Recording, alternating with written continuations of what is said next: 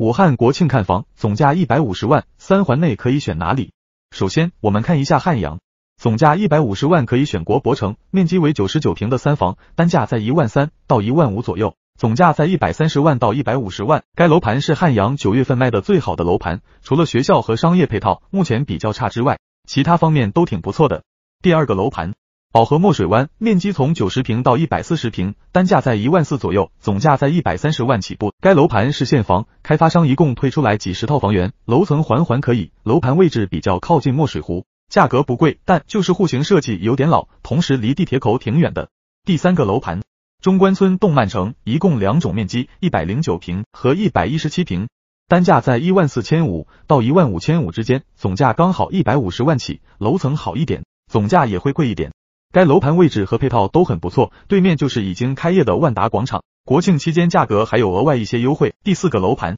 东头汉阳城，该楼盘最小面积为一百零八平，单价一万四起，总价也是刚好一百五十万起。楼盘所在位置有点尴尬，刚好在两个高架交汇处，会有一定的噪音。九月份卖的也挺不错，不过该楼盘也有不少商业配套，后期能不能正常运营很关键，再加上楼盘体量太小，后期居住氛围和舒适度很难保证。第五个楼盘，上城国际位于二环内，楼盘离地铁口四号线非常近，面积最小有一百零六平，成交单价大概在一万五左右，总价一百五十万起。该楼盘楼栋之间非常挤，还有原先是环建房的规划设计，对居住品质有比较大的影响。接着我们看一下桥口区第六个楼盘，龙湖揽境，该楼盘有现房也有期房，最小面积从九十九平起，单价在一万四千五左右，总价一百四十万起。后期有地铁规划和自带的龙湖天街商业综合体，单从配套来看还不错，而且离汉口中心区域也不远。不过九十九平房源很靠近高架，高楼层会有比较大的噪音，同时附近的学校很一般，买房看自己的需求来定。第七个楼盘绿城桂宇映月，该楼盘最小面积为一百零九平，单价一万四左右，总价也是一百五十万起。龙湖的品牌和产品设计都没问题，就是这个地段大部分客户还是接受不了，周边配套比较差。第八个楼盘万科公园大道，该楼盘最小面积为九十二平的小三房，成交价格在一万六左右，精装修交付，总价在一百四十五万起。同样问题，周边几个楼盘都属于古田北板块，区域内有很多的高架、铁路线隔断，导致居住的感受会差一点。同比汉阳四新来说，优势就是距离上离汉口中心比较近，其他方面几乎没有优势。第九个楼盘。华发都会天地，该楼盘地段挺不错的，最小面积有八十四平的两房，总价一百五十万起，单价在一万八左右。该楼盘自身配套和周边的配套也还不错，作为国企，该楼盘价格很坚挺，不知道后期会不会有更多优惠。第十个楼盘，位于江汉区汉口火车站大板块的后湖里楼盘，该楼盘最小面积是八十平的两房。